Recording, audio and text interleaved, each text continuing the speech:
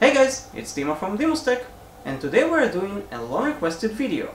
I'm going to show you how to install ADB drivers on your computer and also connect them to your phone.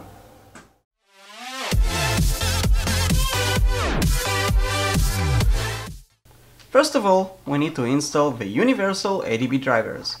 Now basically you can choose whatever preferred ADB package that you want, but I think the easiest install is actually the one called Universal ADB Drivers, and that's exactly what we are going to search for.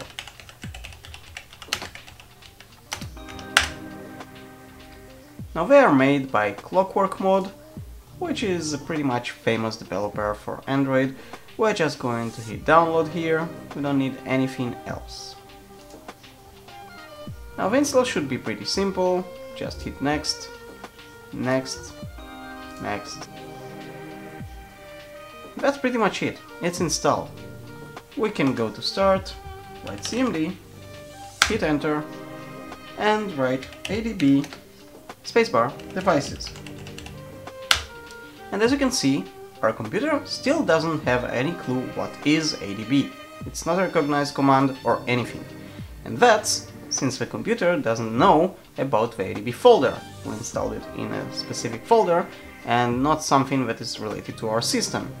So for the ADB to work from anywhere in the CMD or PowerShell doesn't matter, you'll have to add a path. And for that, we'll hit start, write this PC, and under PC you should go to Properties, go to Advanced System Settings, and then under the Advanced tab you want to click Environment Variables. Here you want to go to the System Variables, hit on Path, and hit on Edit. Here you want to add a new path. Hit New, hit Browse, this PC, C, Program Files SD6, and again, that's only if you didn't change anything while you are installing. ClockworkMod and Universal ADB Driver. This folder should be enough since inside it are all ADB tools and fastboot and everything. Hit OK, as you can see it's added here. Hit OK again, OK, and OK. You can close that window. And now, I'm not really sure that it will work already. I think we need to reopen the CMD, but let's try that. As you can see, it still doesn't work. Let's reopen our CMD. Hit start, CMD again, enter, and now it should work. Now as you can see, our ADB is trying to actually recognize our device. As you can see, it cannot find it because we didn't connect our device yet.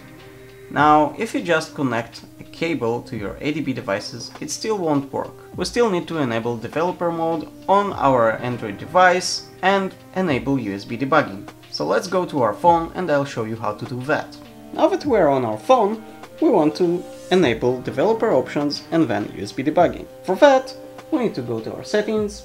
Keep in mind it might differ on your phone a little, but the process should be pretty much the same. Scroll down to About, scroll down again to where you see build number, and hit a few times until you see this, and then you will be a developer in newer versions, you'll have to enter your password, your PIN code, whatever it will be. So I'm going to enter mine, and as you can see, you are now a developer.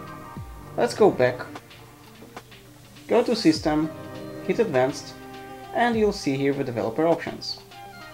Under here, you don't want to touch pretty much nothing, except you want to scroll down until you'll see USB debugging and enable that. Hit OK, and that's pretty much it. From now on, if you'll connect your device to your computer with USB debugging enabled, you'll see some message, and let me show you in a moment.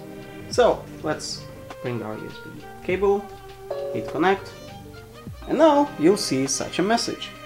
Allow USB debugging. Now, it will recognize the fingerprint of your computer, basically it's different for every computer, and if it's something that you trust, if it's your home computer or laptop or something, you can hit here always, and then hit allow. If you want to allow it only one time, you can pretty much click on allow and that's it. I'm going to always allow it, hit allow, that's it. Now you have enabled ADB debugging and you can connect it to your computer and use ADB and fastboot commands. Thank you for watching this DimusTech episode. If you enjoyed this video, click the subscribe button and hit the bell so you won't miss any future video. And I'll see you on the next one!